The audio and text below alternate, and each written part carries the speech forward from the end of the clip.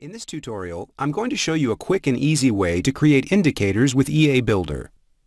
Let's create a simple indicator based on the stochastic oscillator. This example can act as a starting point for creating your own indicators. Let's attach the stochastic oscillator to the chart. You can see a blue line and a red line oscillating between the market extremes. The blue line is the so-called baseline and the red line is the signal line. When the baseline crosses the signal line, we want to display an arrow to buy or sell. So let's do it. Create a new MetaTrader 4 indicator and call it Extreme Turns.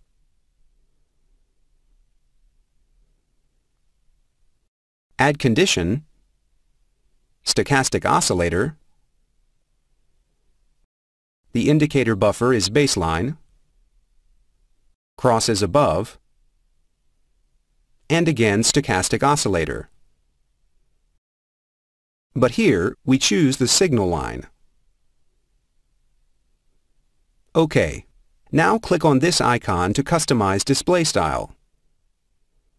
The indicator type is arrow, arrow up, the color is blue, the label is buy, and the arrow will be drawn at the candlestick low. We leave it as it is. Click OK.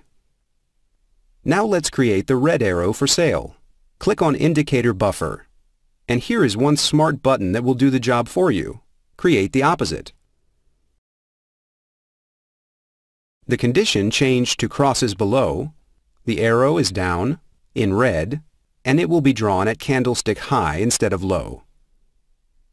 We are happy with what we see, so we can move on. In the Common tab, we can choose whether to draw the indicator in the price chart or as a separate window. We leave it in the chart window. In the Alerts tab, we check Audible Alerts so that we hear a sound and see a pop-up message every time a new arrow appears.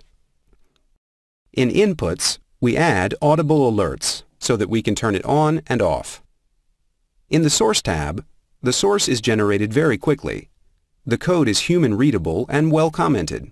It does not include any extra files or advanced object programming, so it can be a very useful study aid, but you don't need to understand it. Now you can either download the file and install it on your platform, or copy the source. Do whatever is more convenient for you. I will copy the source, open Meta Editor, create new, custom indicator,